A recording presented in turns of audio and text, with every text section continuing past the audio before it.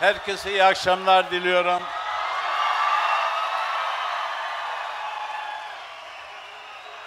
Öncelikle 30 Ağustos zaferimizin 100. yılında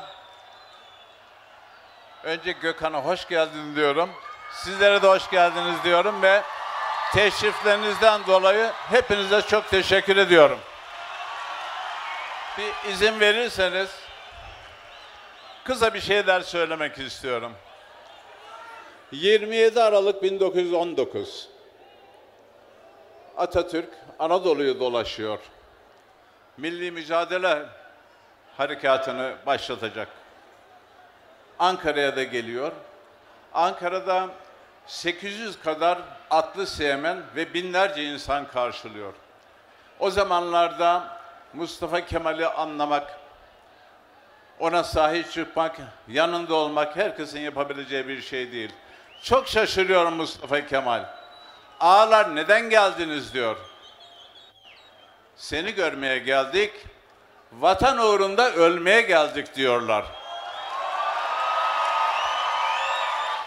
Peki diyor, bu fikrinizde sabit misiniz? And olsun diyorlar.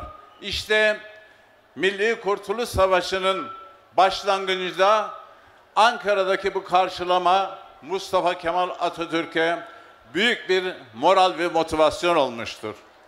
Sevgili Ankaralılar, hemen 400 metre ileride Kurtuluş Harbi'nin yönetildiği birinci meclis, ikinci meclis var. Bakın bu bulunduğunuz alan 1936 yılında Jansen planınca Gençlik Parkı olarak planlanmış ve bizzat Mustafa Kemal Atatürk'ün emriyle buraya Gençlik Parkı yapılmasını karar verilmiş. 26 Ağustos'ta 26 Ağustos'ta yine zaferin başlangıcı buraya 40-50 kilometre ileride Haymana Polatlı topraklarından başlamış. Dolayısıyla Ankara'mız milli mücadelemizin en önemli karargahlarından. İşte bizler de böyle bir başkentin belediye başkanı olarak Mustafa Atatürk'ün bize emanet ettiği bu Ankara'yı dünya başkentleriyle yarışır bir hale getirmek için çalışıyoruz. Bu sorumlulukla hareket ediyoruz. Ve 30 Ağustos'u elbette kutlayacağız. Neden bunları kutluyorsunuz? Kutlamaya gerek yok diyenleri inat, coşkuyla kutlayacağız. Ve başta Sayın Gökhan Bey olmak üzere bizim vatan sevgimizi hiç kimse sorgulayamaz.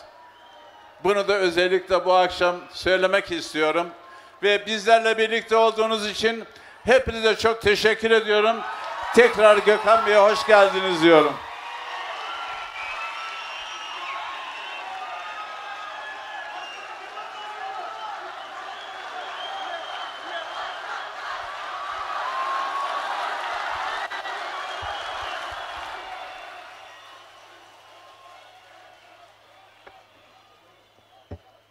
Ben çok heyecanlanıyorum Mansur Bey'i görünce ya. Of bir anda bir, bir şey oldu değil mi? Arkadaşlar ben kendisi için tam gitmeden bir şey söylemek istiyorum. Mansur Bey sizi çok seviyoruz.